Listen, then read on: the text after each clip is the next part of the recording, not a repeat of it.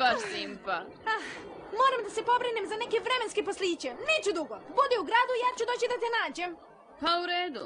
Idem ja. Vidimo se. Vidimo se!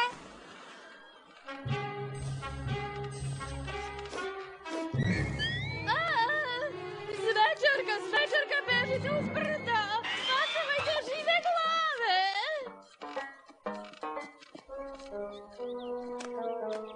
Nije sveže.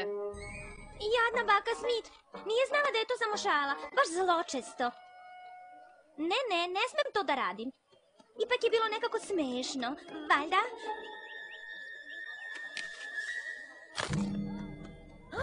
Pa jesam je pogrešno procenila. Ona nije samo zločesta. Ustoji i lopov.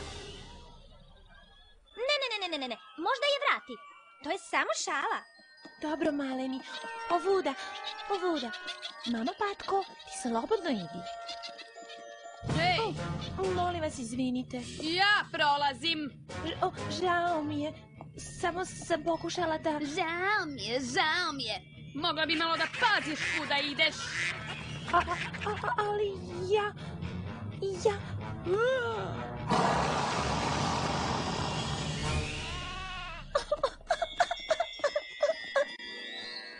svašta.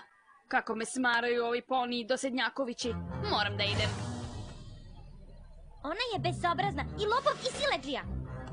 Najzlobnija zloća koja postoji. Ne mogu to da trpim. Ali niko ne sme da bude takav prema Fluttershy. Niko!